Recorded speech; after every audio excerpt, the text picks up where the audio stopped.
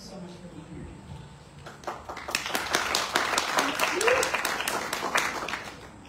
I promise I'll be brief.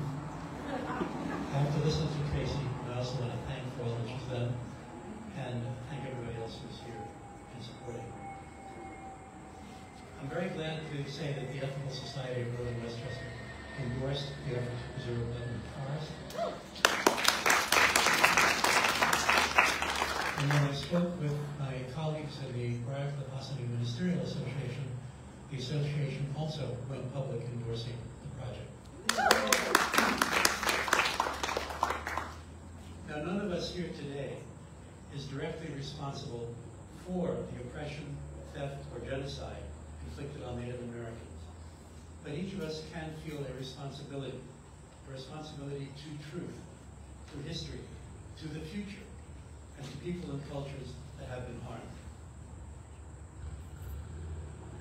We can feel and act upon a responsibility to repair what we can, to restore dim knowledge of the past, to a brighter awareness of the present, to retain what can be preserved, the cultures of people who once inhabited this land.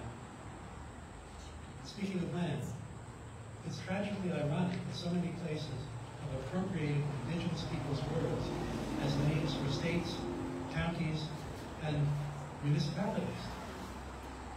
And that so many organizations, religious congregations, governmental bodies, even school boards perhaps, start their meetings with land statements.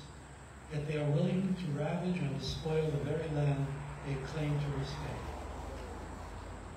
And to obliterate and disregard the existence, the reality, the dignity and worth of the people who once lived on the land they claim to respect. We have an opportunity to recognize and respect the people who were here before, to learn perhaps both about and from their cultures, to acknowledge our connection with them, and through that connection, to acknowledge our relatedness with all the human family, all across this wondrous world of which we too are a part. To preserve Buttonhook Forest would be a grand act of hope. And to paraphrase the Czech playwright and president Václav Havel, hope is not the same as mere optimism, a wishful belief that things will go well. Real hope is rather the ability to work for something because it makes sense, because it is good. It makes sense to preserve and learn from our human and local history.